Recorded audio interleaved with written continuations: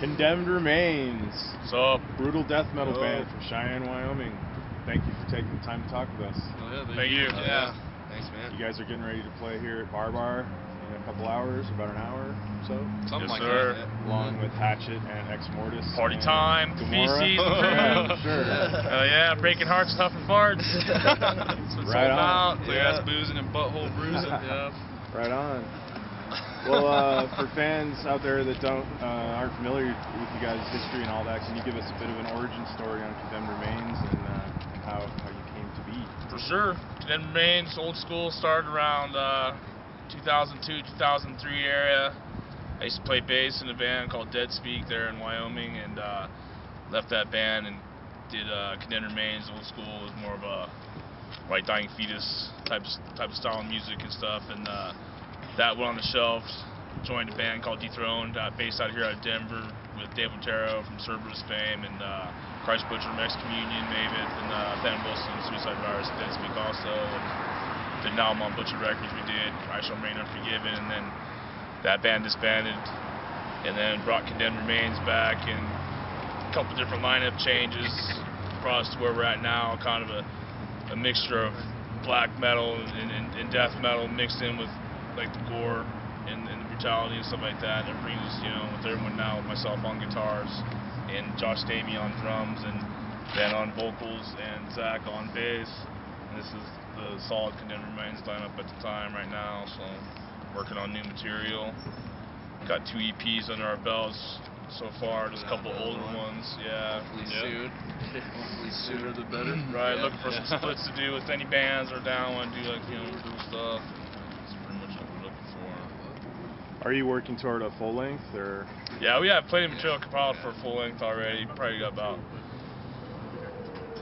about ten songs for full length and probably about four to five for another EP and then various splits and stuff like that. So You guys So- play out in Denver live quite a bit, it seems like, fairly yeah, often. quite a bit. Yeah, we love Denver, Colorado scene, awesome scene, and we love being down here. I also play bass in a band called Despise the Sun, so I'm bass going down to Colorado Springs from Wyoming, going on tour with those guys and stuff, and then want to get condemned on that level, going on tours with everybody else and stuff like that, instead of just playing the Wyoming, Colorado area, and stuff like that. Right.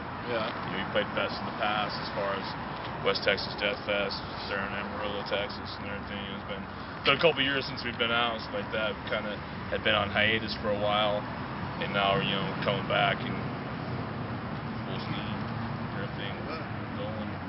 Do you have the record any- secretions. Nice. Do you have any touring plans specifically coming up, or any shows you you want to talk about, or? Nothing that we know of. Whatever comes up, I guess. Yeah, we're all Whatever's kind of kind of busy dudes ourselves, and like I said, It you know. sucks about trying to make Yeah. that shit happen. Yeah. Jobs and fucking Family. get all there. It Family seems like it's stuff, harder to find yeah. time for it or make time. Yeah, I'm in the seminary. I got four kids myself, so you know, put up the babies populating and stuff. You know.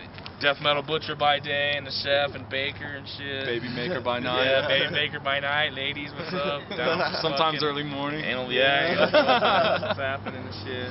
Well, you know the the EPs and everything that we have right now, like uh, they're not exactly relevant to what we're doing right now because they're so old. I'm not Correct, even. I, I'm sure. the newest member in the band, so Right. I'm not even on those EPs. So we want to come out with new material, some new merchandise before we start hitting the road hard. You know, that way we have something to offer that, that actually represents what we sound like now. Yeah. So Getting that's out there kinda one of the more.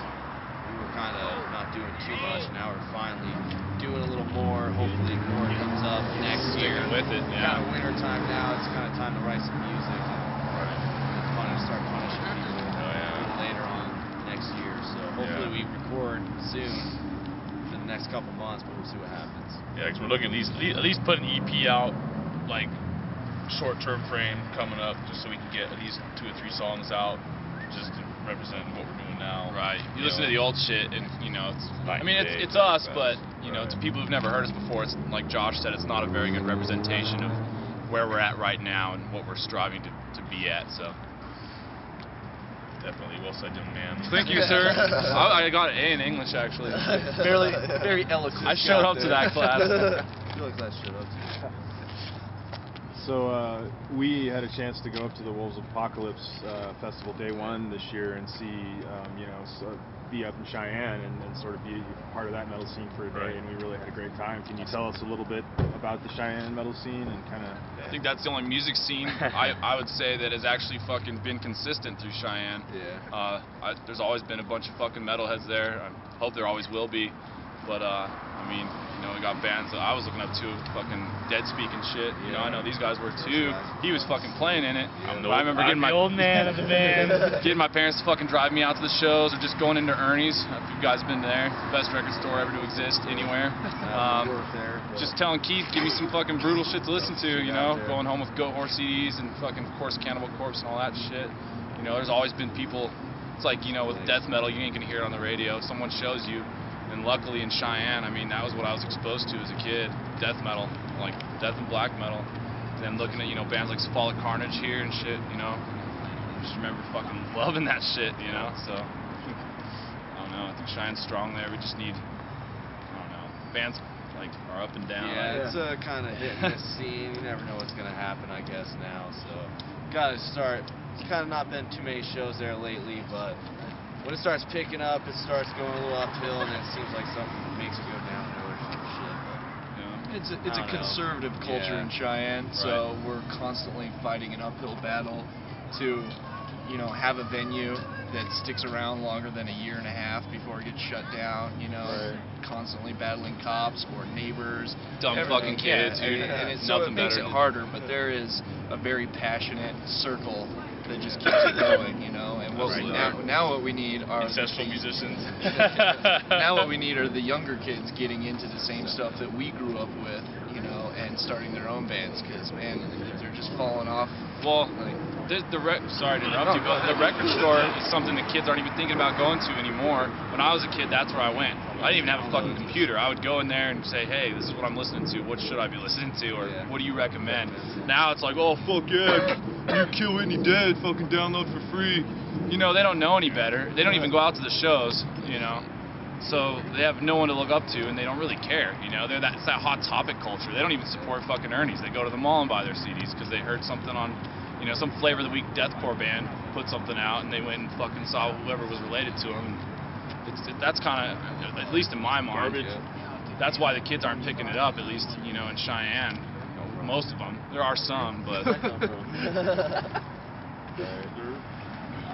works. Um, so, I mean, you guys, um, how do you feel about the Denver scene? Can you talk a little bit about your feelings? Yeah, I love Denver scene. Yeah, Yeah, best fucking places ever. It's probably one of my favorite places to play down here. This place is fucking awesome. Bar Yeah, bar? Bartender rules. Right. People down here are always cool, dude. It's, it's a party, so it's nice. So. I Good like Denver. location. Yeah. It's a Always, nice it's little always a trip. fucking adventure. Yeah. right, Here. hang out, puff, play Oh, some yeah. music. I've played quite a few places down here with Dethrone. I said we've done, you know, Gothic, you know, headline play with Venom there, fucking Bluebird back in the day, the Ogden, play all those venues too. And I like, you know, these smaller ones where I am where I have more fun, just more party atmosphere, more hanging out and everything. And I think Denver also has there's different cliques and different genres, but everyone you see the same faces at the shows, which is cool. And It's more the- consistent. yeah, and more more solidarity is, uh, and that's exactly what's that's what's up. Help help the scene thrive. You know, it's awesome. Fucking You shit know. ton of dope bands down here. So that's cool. They got like Definitely. Dope Runner coming up. All these new bands showing up. Eminent, Eminent Terror. All these guys. I can't even name them all, but shit ton Eye of of Minerva, Yeah. Rousing. I mean, there's just Too so much name. talent Vomit in God. this area. You know, I think Spies the Sun. Right. All Oh these my guys. God, those cats, Ducking Fantasy. Even though I know they're on hiatus at the moment, but Legion of Death, Zombie Yeah, Gay Brigade, yeah. old schoolers. You know, it just it's amazing. X Brigade. you know? We should come back. See what happens with that. But Yeah. all those guys. definitely. Cool. Um, tonight we have a couple bands from out of town here, uh, Hatchet and Ex Mortis. Are you guys familiar with? with those our? California style. Yeah. Yeah, I'm, I'm from Cali originally, so Transfer transplanted here, ex-military and shit. Yeah, we're big fans of Ex Mortis. We have them for years, and I haven't, I've never gotten to see them live, so I'm really excited. Hell yeah, They're something solid. amazing. I'm, I'm I'm happy to be able to share the stage with them. It's Definitely. fucking awesome. Yeah. Kneel before the steel. Right. Solid. Cool. We really appreciate you guys taking the chance. Thank you very taking much. the time to uh, speak with us this evening. Thanks for having us. Really appreciate it. Hope you have a slamming good show. Thank you. very no pun You guys- intended. You guys are always sick. Thanks, Matt. Appreciate Looking that. forward to seeing uh, Ben's uh, vocal performance as All always. right. Esophagus. He's actually not sick tonight too. Esophagus That's fucking rare. exertions. Yeah. And I have to get drunk, so. Full full body death metal participation. I Correct. Backyard Immune system Hard fucking- diving on his fucking head. yeah. Hell yeah. Hell yeah, man. drinks than me. Yeah, nice. Thanks for the opportunity, Matt. We appreciate it. Thanks, guys. Hail uh, Denver Heavy Metal Society, Yeah. as always. Hell yeah. You guys are fucking Yeah. killing it. Thanks, and the man. scene, the scene's fucking awesome. It already looks like a pretty good amount of people showing up, so it's gonna sweet. Definitely, definitely. Good time. Well, thank you guys. Hell yeah. Thank you Thank very much. Have a great show. Thanks, All right, right on. All right. Thanks, guys. Thank you. Yeah, thanks guys.